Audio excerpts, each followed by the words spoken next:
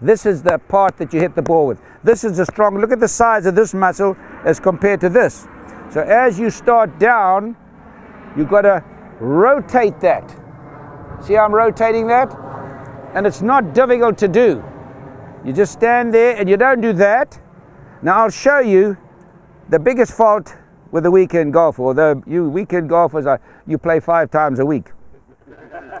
First time I played with Arnold Palmer was in 1957 at Tam O'Shanter in Chicago, and the wind's blowing, and he takes the grass, throws it up in the air, and he doesn't look. So I said, "Why do you do that?" He said, "All the good players do it, so I do it."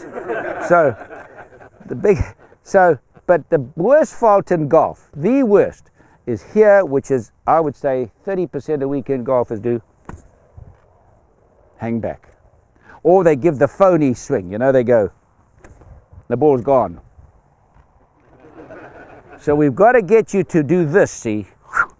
See, I do four times a week, 1,300 sit-ups, and without boasting at 80. This is like a plank, see that? Because you've got to get that. That's all. If you rotate, your hands have to follow. Because this is so strong, your hands have no option. They just automatically follow with speed. So the faster you can rotate, the more clubhead speed you get. You find all these different backswings. Bobby Jones took the club in here. Jack Nicklaus stood there, cocked his head back, took his hands way up in the air with his elbow flying right elbow. Great ad for right guard. Hand right up in the air like this.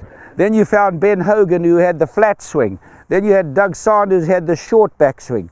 All these different. Then you like Lee Trevino, if he's aiming at that 100 yard sign, he aims at that green, like this.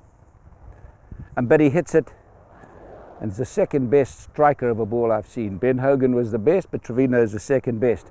Uh, but he only aimed over there, but he was also talking. He'd say, during a tournament, he'd say, you know, my wife, he's getting ready to hit. He says, my wife lost her credit card, and somebody else found it. Thank God, because they can never spend what she spends. And he's hitting while he's playing. this guy's crazy. But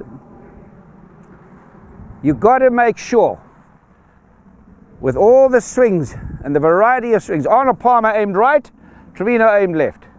All these different swings, but the one thing they all did is from here, from the top of their backswing, that left hip rotated. You want to improve your game? Practice from 100 yards in. Jordan Spieth doesn't hit the ball anywhere near like Rory, Adam Scott, or Jason Day. Not in the same league, but he beats them. He's number one in the world because golf is played from 100 yards in. Bunker shots, chipping and putting. That's how you'll lower your handicap. Go to your pro, have lessons on your short game. Who's a 16 handicap here? Somebody? 17, 18. Okay, two 18s. You and I play tomorrow. You hit every drive, every second shot. I take over. You're a four handicap. Yeah. But let's go and play tomorrow. I hit every drive, and you take over. You're a 16 handicap. So that's the best way to explain the importance of the short game. If you ever go to Lytham and St Anne's, go to the 17th hole, and there's a plaque in the bunker. And I stood there in awe. Because then you go in the clubhouse and you see the club that he used, and it's like a frying pan head, and this thick shaft, and he put it on that green from that spot there. I'd like to see Tiger do it today. He'd do it, but he'd have to put his best shot on it. I mean, it's absolutely how how that man was so so good, and yet and yet, this is the sad thing. If Bobby Jones had to go today to these modern day teachers, they'd all change his swing. And he had one of the greatest swings, maybe the greatest swing that ever lived. But his club did at the top of the swing, you see. His club pointed to the right. See that? And that's what all the old Scottish pros did, which was phenomenal. But these guys want to change it now and put it over here, which is poison. And that's what happened to Tiger Woods. That was the demise, that was the start of Tiger's problem. He had the club perfectly on line there. He goes to lessons after winning the US Open by 15 shots, and he started the guy gets the club over here. Gone. Watch the, watch the, uh, that's, here it is. Watch how that club, you can see it at impact. The club is going through the ball. Watch it impact. Watch how that club is going through the ball. See that? No deceleration. Every shot you play in golf is acceleration. bunker, it's not, it's light the match. When you get in a bunker, watch this. Light the match. But watch this club now. Watch how the club goes through the ball. Watch.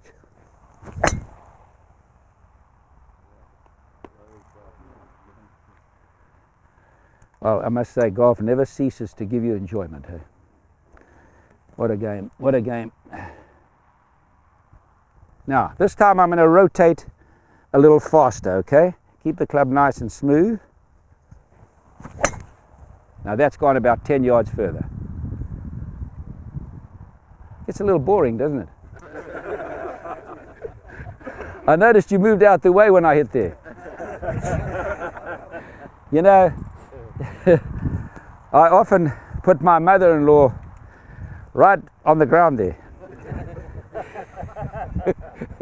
I, I, used to say to her, come on, Granny, show them the confidence you have in me. She'd lie on the ground there and I'd have a practice swing and I'd. So and now I just want you to watch this time, nice and smooth, and then watch the rotation.